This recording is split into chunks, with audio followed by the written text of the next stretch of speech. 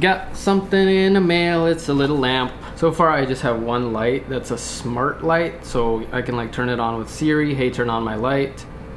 Okay. And it'll turn on this light up here. So this light should also work like that. I can connect it to my smart app or whatever and then tell Siri, hey Siri, turn off my light.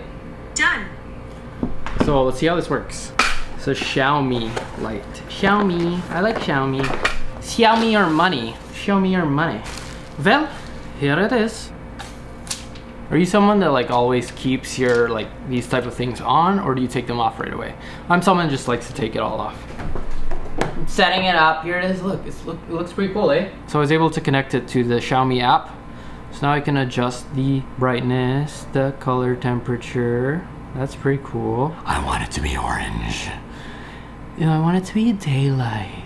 And I can also do color. There's color. So let's see what different colors. Ooh, it can go through the spectrum. So what if I want like a bluish light back there. Cool. What's really cool about these lights, smart lights, is that they're connected to your Wi-Fi, so you can just, you know, by a power of the switch of your phone, or you can just tell Siri, turn on my lights. Okay, the lights are on. And now my lights are on, so that's really cool. And I can turn it on or off from anywhere in the world that I'm connected to the internet. So that's really cool. And that's something that is called the Internet of Things, the IoT, if you haven't heard of that. It's connecting every device to the internet. So like your fridge can be connected, your lights, your security system, so that you can be controlling it from your phone wherever you are.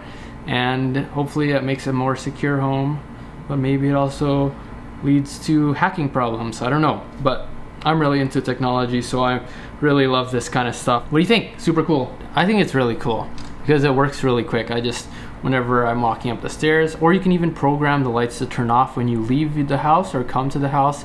But since we're in home quarantine, there's no leaving or coming from the house. And it works really quickly. I just go, hey Siri, turn off my lights. And then they're okay. off.